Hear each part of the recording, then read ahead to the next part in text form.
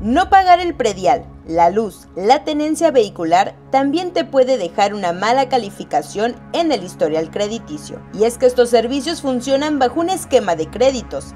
Es por eso que son reportados y el atraso o incumplimiento nos afectan en dicho historial. Sin embargo, la ciudadanía desconoce que por estos servicios pueden ser reportados. Más bien la ciudadanía, por lo mismo que esto es eh, reciente, viene y preguntando que porque fueron al banco, que querían un crédito y que le dijeron que vinieran a Conducef, que porque tienen un crédito pero que ellos no reconocen tener nada. O sea, la gente viene creyendo que no tienen ningún motivo del por qué estar en el buro de crédito. Muchas personas se han encontrado que tienen mala calificación de historial crediticio por el pago de tenencia de automóviles que vendieron hace tiempo, o bien por la deuda de luz que dejaron inquilinos en casas que rentaban. Tenían un vehículo, lo vendieron, pero no le dieron de baja a las placas.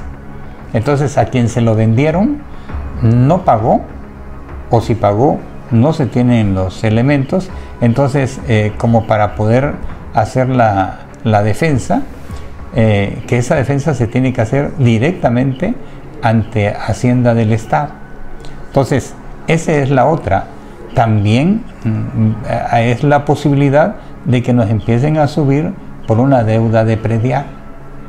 También en el caso de la, luz, también nos reporta.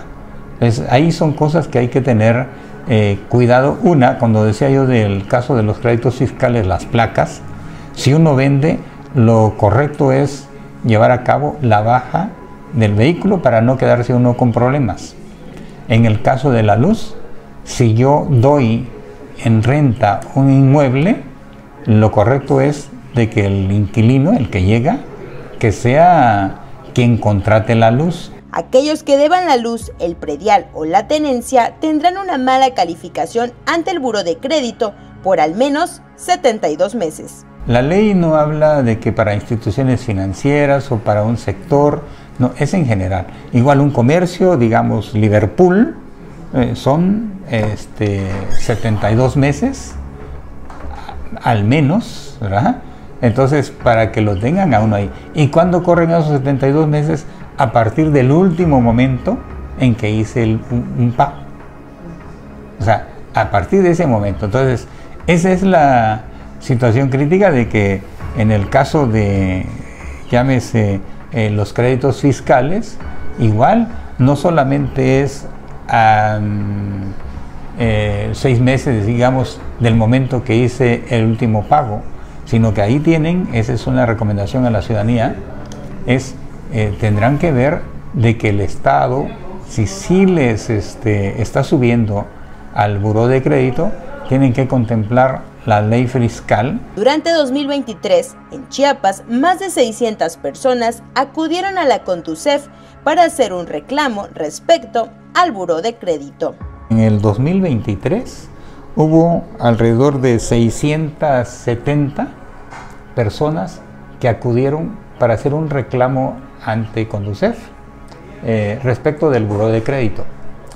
Y eso, como ya este, lo comentábamos, tiene que ver por errores en el RFC, por un problema de homonimia, errores en el nombre, error en la fecha de nacimiento, domicilios que registrados por los usuarios que no reconocen y créditos que tampoco reconocen o aún reconociendo que no estaban actualizados.